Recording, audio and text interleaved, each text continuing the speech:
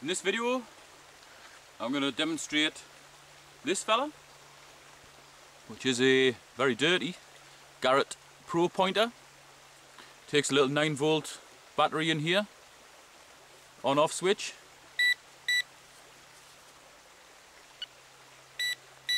There, switches it on and off. And it's got a blade here for scraping through your muck and also a light for nighttime use if you want to go night hawking. I'll just demonstrate its usefulness in the air first of all. This is a little one pence that I found before. Here's the pro pointer. Switch it on away from any source of metal.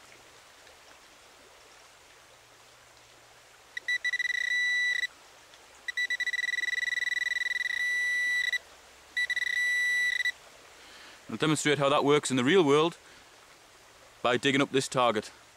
Hopefully it'll be a decent target, it's making a reasonable signal so we'll give it a go and see what turns up.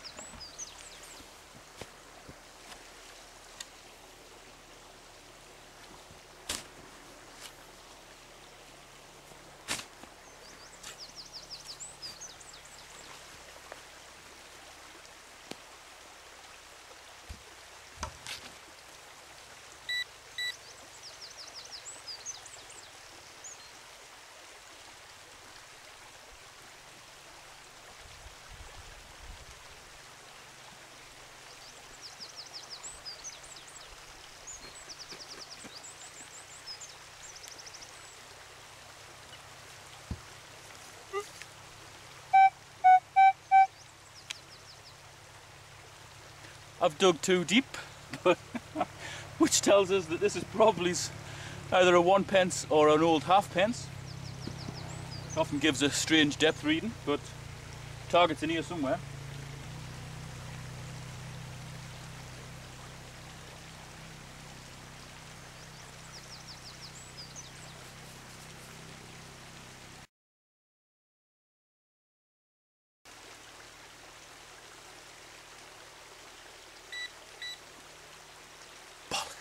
Helps if you have it switched on.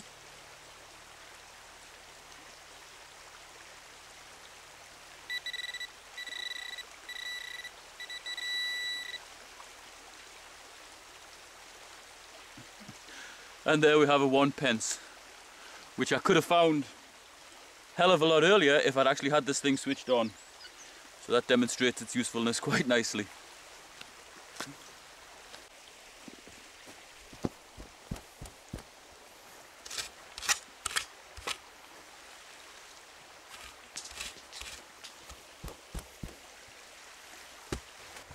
And this dig's going to show how it should be done when you have the Pro Pointer switched on.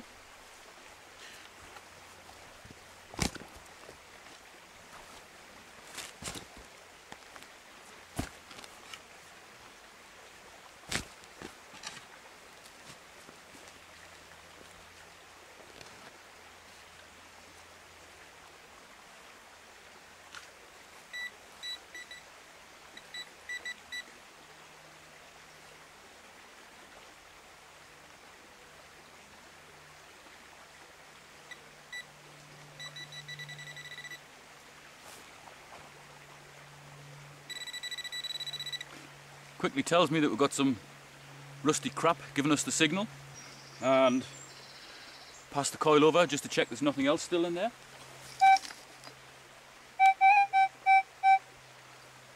It's telling me that there is still something in there.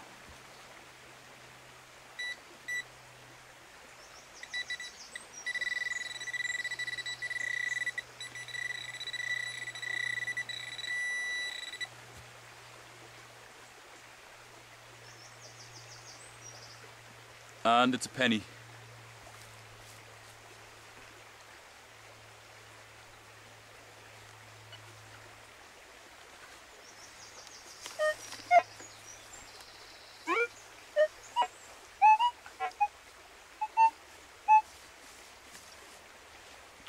Just trash left around there. So we'll fill it in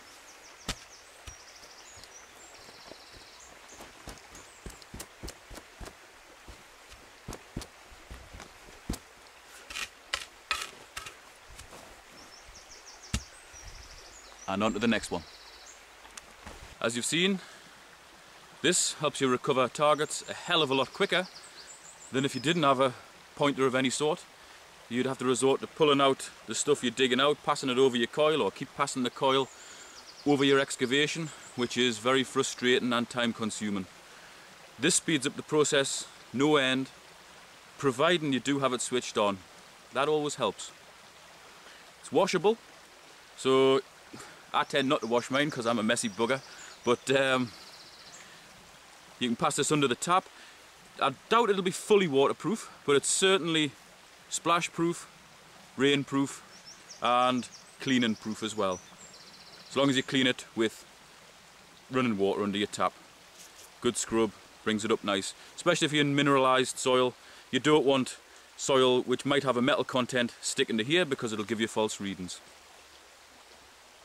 Overall, 10 out of 10.